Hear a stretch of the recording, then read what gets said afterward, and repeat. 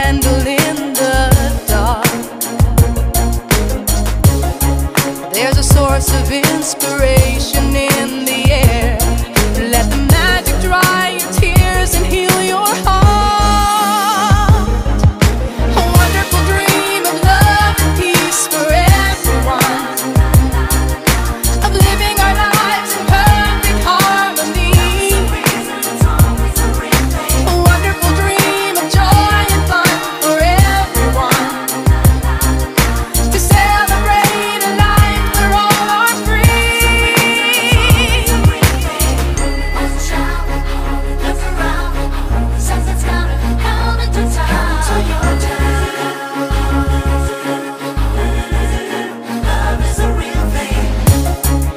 now the children's eyes are shining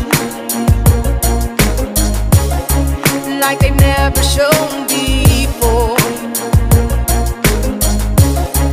Let their